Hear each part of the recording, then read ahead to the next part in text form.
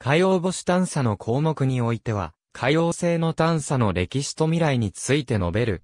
現在まで海洋星を探査した探査機は1989年8月25日に海洋星に接近したボイジャー2号のみである。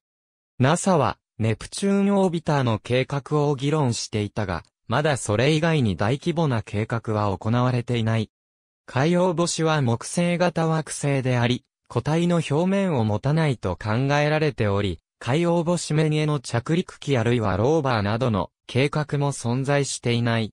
ボイジャー2号は現在まで唯一の海洋星に接近した探査機であり、海洋星の北極上空わずか約 4800km の距離を通過した。ボイジャーは大気、間、磁気圏、衛星についての様々な情報を得た。また、ダイアンハンやトリトンでの噴火などが発見された。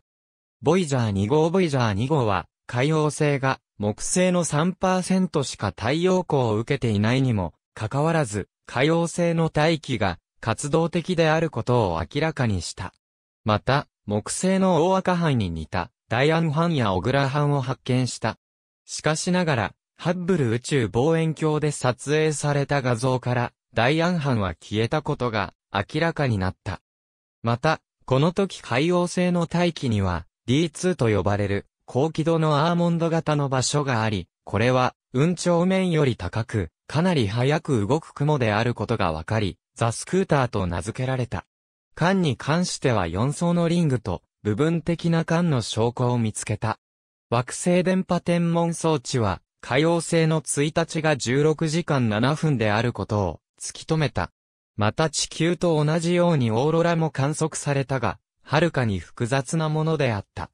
6つの衛星を発見したが、そのうち詳細な画像を撮れたのはプロテウス、ネレード、トリトンの3つである。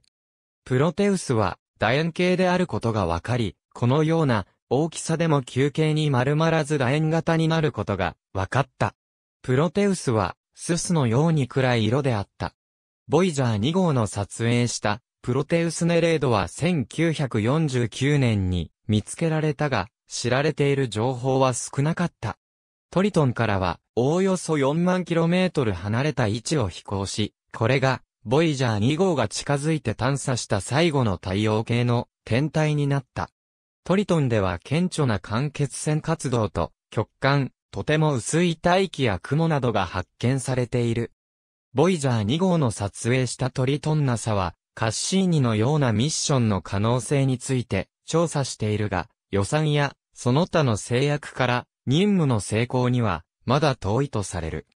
未来のミッションは原子力電池とボイジャーに類する機構を持った探査機で行われると考えられているが、技術の進歩からカメラや記憶容量はより良いものが使われる。また、軌道周回を行うのであればより強い誤差修正が必要とされる。ありがとうございます。